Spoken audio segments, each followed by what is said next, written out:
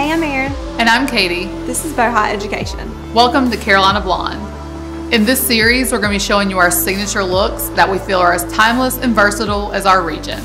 In Eastern North Carolina, we live for the summer, and our blondes definitely reflect that. In these videos, we're going to be sharing our tips and tricks to help you create this effortless look. Whether you're going for a dimensional golden look or a sun bleached surfer blonde, we've created techniques to help your color pop and add visual interest from season to season. In this video, we'll be covering Carolina Blonde from start to finish. We're going to be sharing with you how to execute a proper consultation, as well as showing you our approach to application and processing. We'll also be sharing our favorite glossing formulas and glossing methods. We'll be finishing out with showing you our signature styling and tips and tricks on photography.